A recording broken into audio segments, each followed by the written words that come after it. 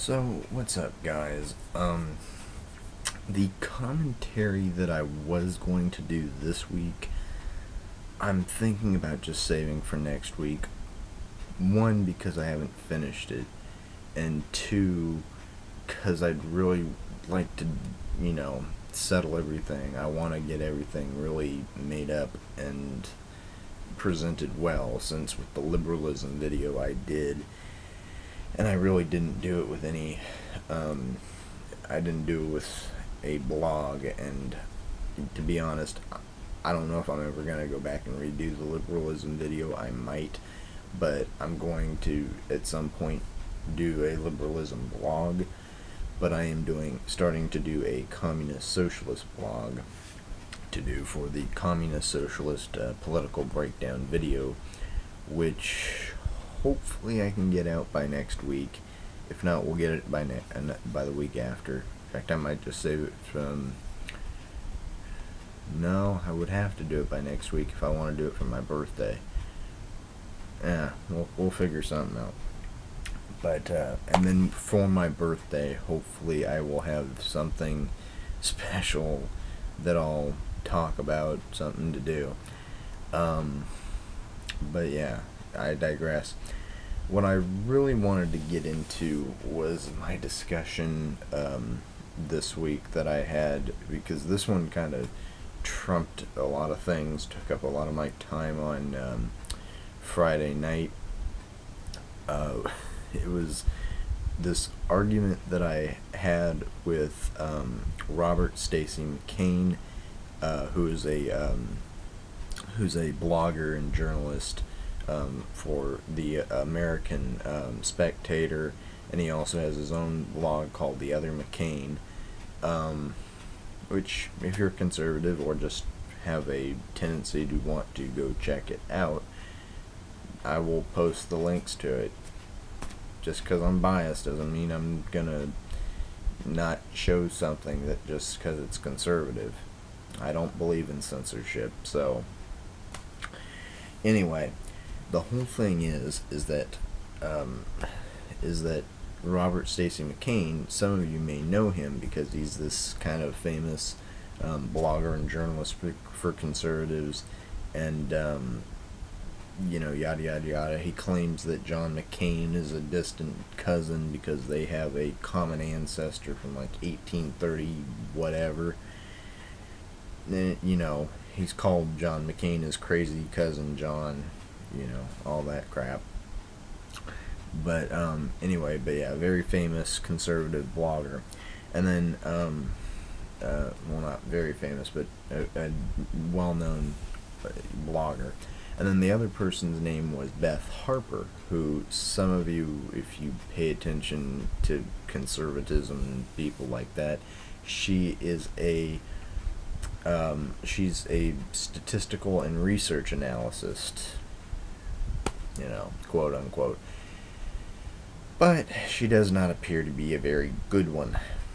Because as my uh, breakdown with them went the other day, we got into talking about how my views on Kaitlyn Hunt had obviously changed. You know, I don't support her anymore, much like Anonymous and many other activists no longer support her anymore.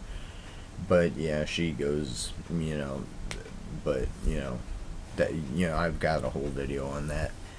Um, but we had we started talking about that LGBT rights, which obviously conser- a lot of conservatives think LGBT rights is not important, you know, and then they start chewing on my definition of equality and stuff like that. They um, uh, the, because then we started going into the fact that I told them I was a socialist, which may have been harebrained on my spot, but it would have been one thing to discuss socialism from an intellectual level.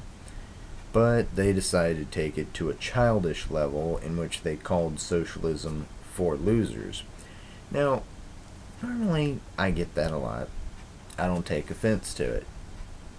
And in this case, I kind of did. I mean, not so much to not so much really, but it's just that I felt well, maybe they need to be educated a little bit. The thing is, with conservatives, especially those that are twice your age, they tend to think they know it all, and they think that you know being, you know, being educated by a person of, uh, you know, a person half their age, they find that rather insulting, I think, and they also kind of laugh at it because they they're like, well, who is this kid to think that you know he knows it all? You know, he doesn't know a th- damn thing. Well, it's true. There's a lot of things that I don't know. Political wise, however, political government, you know, so, you know, a lot of that stuff, I am very knowledgeable about. I mean, I've been studying a lot of this crap since I was 16, 15, 16, and I've been studying history since I was a little boy, since I was probably old enough to read. So I've been, which was probably what seven, six, seven. I, I mean, really, I've been old enough. I, ever since I was a little kid, I've been doing this, and it's, you know, it's just kind of one of those things that over time I got interested in politics, and I started studying that and researching history more in depth. Therefore, I know quite a lot about what I'm talking about when I do this, and even when I even when I do or don't, I still do research behind it. I even grab articles that I do for all that. Back on the story though. So we have this entertaining argument over socialism, and they call it for losers, and they say that, oh, socialism killed this many people, to which I responded, yeah, but, um, but capitalism has killed just as many and quite frankly more than socialism ever had. I mean, capitalism killed so many people and enslaved so many people under its system. We, I mean, example of this would be the slave days. That was the, the time where so many people were stolen from their their home territories, enslaved, and basically tortured, killed, beaten, abused, everything for 400 years. You know, and even still remnants of it, this inequality and this abuse continues even to this day, even 150 years after these, uh, after the slaves were freed. It was abs- what happened during that time was absolutely horrific then you know um, you know there's so many other examples that could go along with it and I did provide a couple more examples um, to which all they responded was yeah yeah yeah socialism is, all this great thing. Capitalism is horrible because it killed all these people. You know they basically were just laughing it off. They didn't want to hear it which is again typical of conservatives who don't want to you know hear the truth behind their crony, you know, fascist capitalism. So they went into this whole spiel, you know, and every time I kept on destroying them.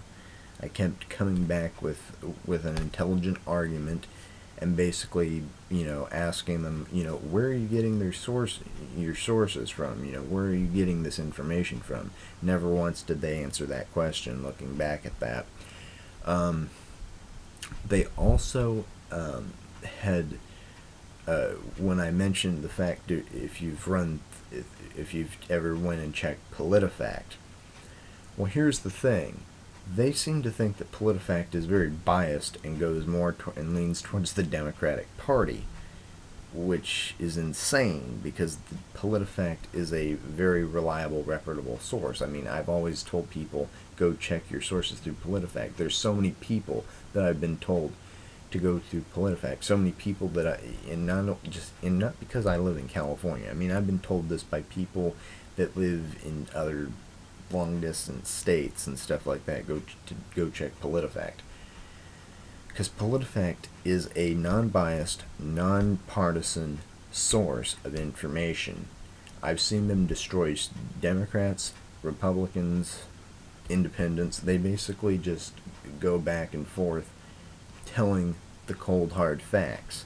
I mean, essentially, that's kind of what Al, I think Al Jazeera and a lot of, and and um, Huffington Post and a lot of the well, even though Huffington Post is even is liberal, but that's a bad example. But there's a lot of big name sources I think that do to at least some extent check PolitiFact. Why? Because PolitiFact is non-biased and non-partisan. It is not a. It is not a. Um, it's not a, a, partisan source. To claim that it, it sides with the Democrats is insane. Have you seen some of the shit that they've said about uh, about the Democrats? Which is all true, by the way. I mean, it's obviously true. But go. I mean, seriously, have you even looked at PolitiFact? I mean, that's one of the things that really got me. They don't.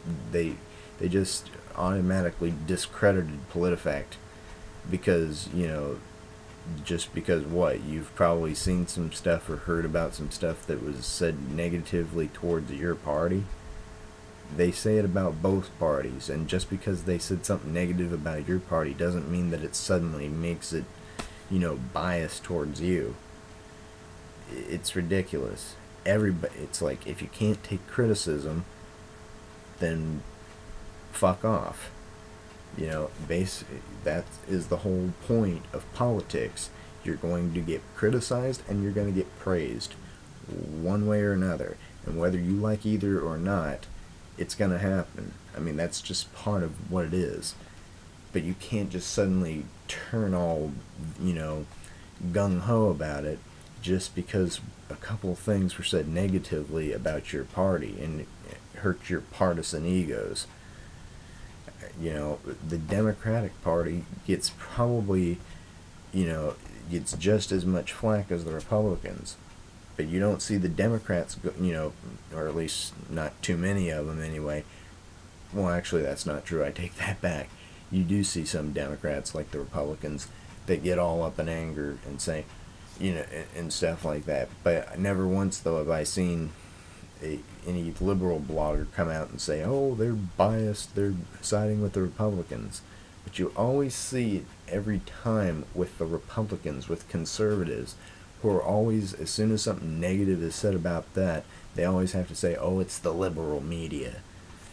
First of all, the media is not liberal in any way.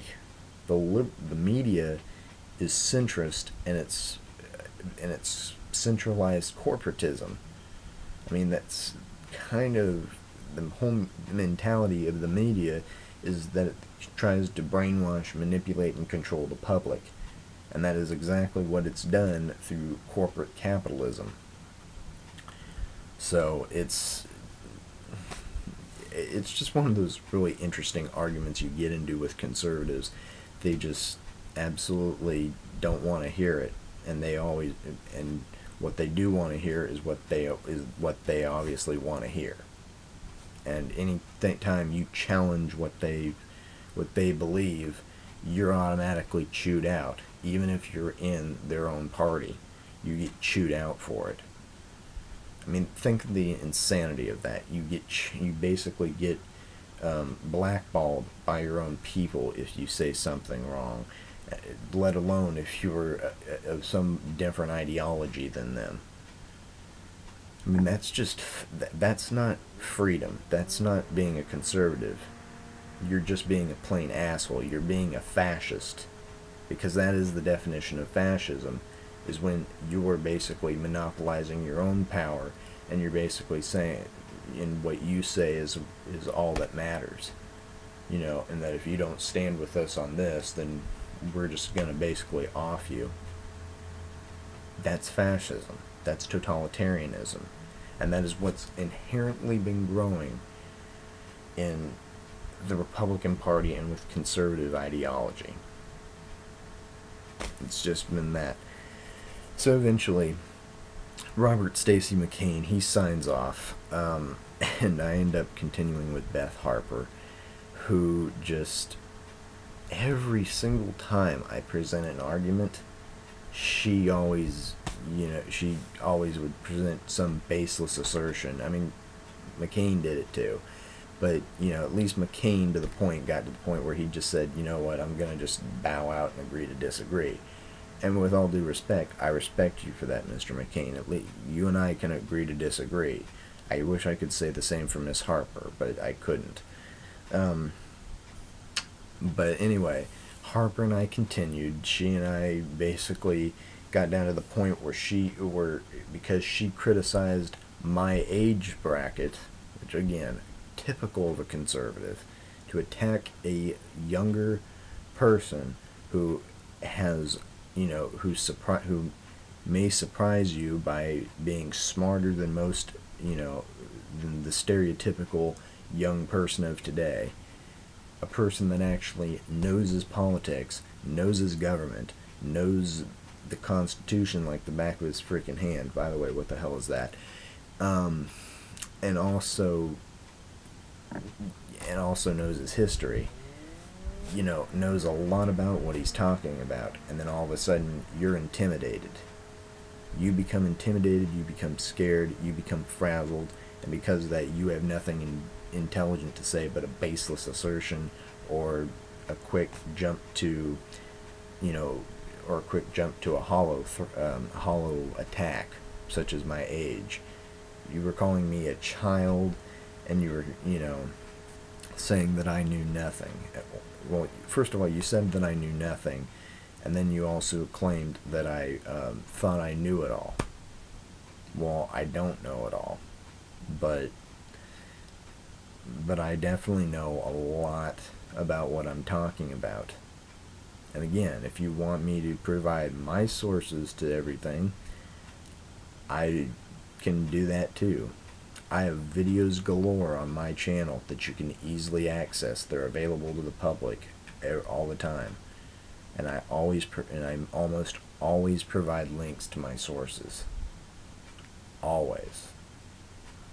And they're always run through very reputable sources. Now granted, yes, I do use Huffington Post too but Huffington Post is very reliable um, because they, even though Arianna Huffington is the most liberal motherfucking idiot on the planet, they have independent journalists with their people that often do really good research. I mean, I, I quote Al Jazeera more often, you know, which now that Al Jazeera is launched in the U.S., I might be using more often. Um, but I'll, but it's just absolutely crazy. Arianna, um, you know, it, ar- that it's just crazy that Beth Harper she tried to argue all this, and then after criticizing criticizing me, she decided, you know, I decided to kind of nitpick at her credibility just a little bit, saying that she was obviously was not a very good research analyst um, do, well, I don't know if I got that far to it, but I know that I criticized her credibility just a little bit. Because, and I could have actually criticized her about her being a research analysis, but which she obviously was horrible at. But you know, especially considering she's done, she said that she's done this for 25 years.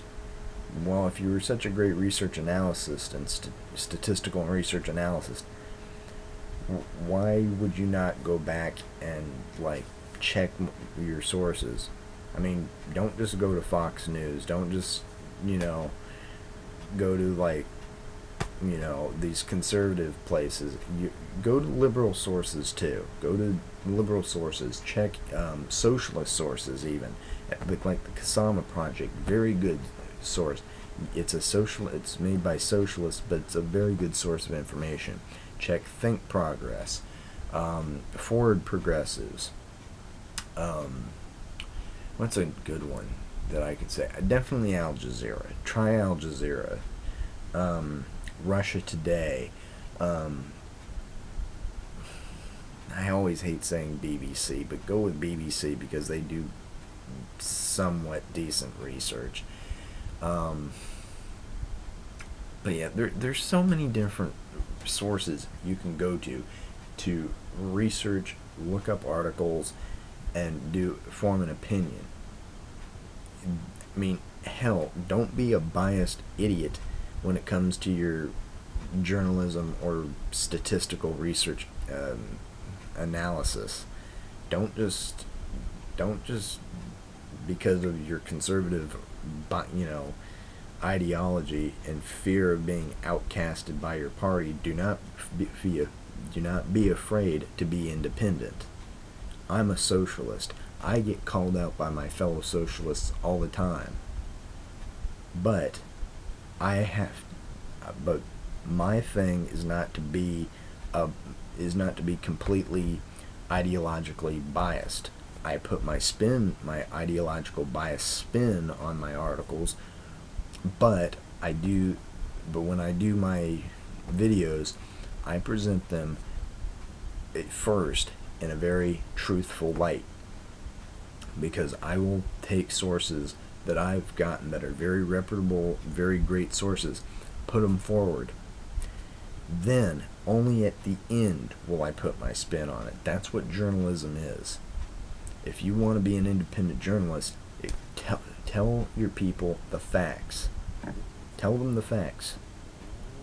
Now, if you want to be more like me, put your spin at the end of the article. Don't just do it for the full article because that just makes you look like a biased bitch. Put it toward towards the end of your article, but tell the facts first. I mean, tell the facts and then give your own opinion at the very end of it. I mean, still, it's going to seem biased in the end, but the very point of the core point of this is that still the people get the facts first, you know. And even and besides, most people nowadays don't read full articles anyway. They'll just read the first part anyway. So why not just give let them read the facts first, you know, and let them make their own opinion. That's just where I said they don't need to read your own opinion. They just need to read the read the facts and form their own. I mean, that's really why America was founded, so that we would be able to give our own opinion, to be free to speak what we want to say. That's the point. So at the end of all this, Beth Harper gets pissed and she basically just tells me goodnight. To which I had to say, bye bye, thanks for playing. With all that said and done, I resorted to somewhat of some childish tax, tactics. But when you resort to childish tactics yourself, and then call me a child, and then try to use your age as if it's supposed to mean anything, like it's the superiority complex that you have, and you claim that just because you're older and that you've been doing something for 25 years or more, or whatever the case may be, and just because you have a blog or you're a analyst just because all that entails something does not mean that you know jack shit about anything. I can be talking out of my own ass too. I mean, just because I've been doing this for, you know, just because I've done a lot of my own research and been doing this um, blog and stuff like that for what now two, two years, something like that. Um, just because I've been doing this does not mean that it means anything. I've just been doing this personally on the level that, you know, I love doing what I'm doing. But I do keep my research very fact based, biased at the end, yes, but it, but I ma- maintain a factual based thing. I provide the articles so people can go to them. I give them the facts first and present my opinion later. I do this all in the efforts of educating people to free think. That is the point of being in that we as anybody that's involved in being in journalism is to provide the facts to people so that they can free think and be individuals and form their own opinion. Just because you know something, just because you think you know something, just because you've been doing something for so long, just because you've reached a certain age, does not mean that you are this wise wizard of knowledge. They always say with age comes comes beauty. And with age comes wisdom. I would have to say that that the beauty part is what you know for some people some people get better with age some people don't. That's the same with with wisdom. Some people do get wiser because they learn more and some people remain ignorant the people like Beth Harper continue to remain ignorant people like Mr. McCain may remain ignorant, but at least they will agree to disagree. And perhaps maybe even with that, they'll might even do their further research. Now again, I don't really see that happening with Mr. McCain either. But my point is, is just because you are older than me does not mean you know any more than I do. From what I've seen, you know probably about as much about politics as I do. Actually you probably know little more than I do so that's why I'm trying I was trying to educate you because you obviously know nothing about socialism. You know quite a lot you have a very twisted mentality of capitalism and you seem to know some basics of everything but you also don't know jack shit about capitalism and your views on that are very biased.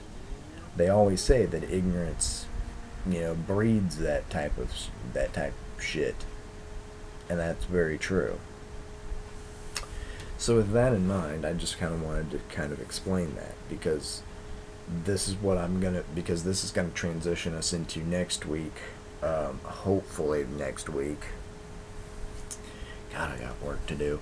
Um, but we'll transition this into next week when I go into detail about communism and socialism. I'm NorCalNik, leader of the revolutionist movement, and I want to thank you for watching this week's NorCalNik commentary. Peace.